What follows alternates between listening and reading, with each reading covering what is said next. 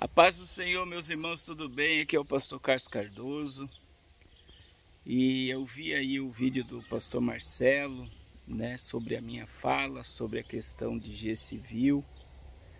E eu quero aqui dizer que eu só segui a questão dos comentários, né? Se vocês pegar o comentário da live, vocês vão ver que eram as pessoas dizendo que o pastor Marcelo, eu não assisti, eu não vi ele falando nada sobre isso. Eu já mandei um áudio para ele e pedi perdão para ele, né, sobre a minha fala. E aproveitando, irmãos, diante de tudo que está acontecendo, né, eu vejo que o maior propósito do diabo é nos dividir.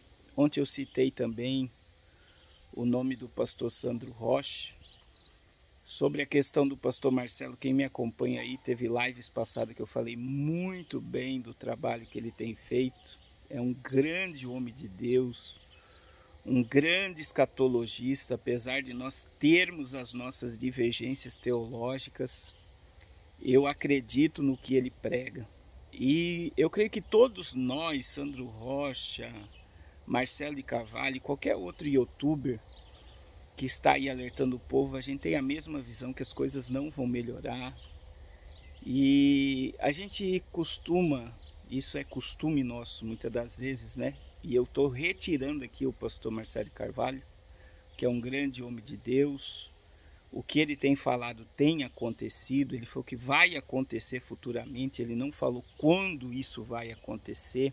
Eu concordo com isso também. Mas irmãos, não é tempo de nós nos degladiarmos na internet, né?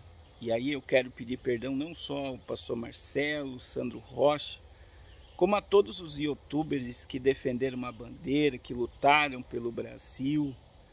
Então, todos aí estavam com um intento bom. Se você for analisar, não é porque a gente vê o mundo de uma forma diferente que a gente vai agora se degladiar, né? A gente vai morar no mesmo céu, e eu aprendo com tudo isso, né? com os meus erros eu sempre aprendo, tenho humildade para reconhecer que eu errei citar, citando o nome do pastor Marcelo ontem, ou como falar de youtubers, que o dono da verdade não é o pastor Carlos Cardoso, não é o pastor Marcelo Carvalho, não é o pastor Sandro Rocha e qualquer outro youtuber, amigo ou não amigo, né, que acaba muitas vezes a gente citando.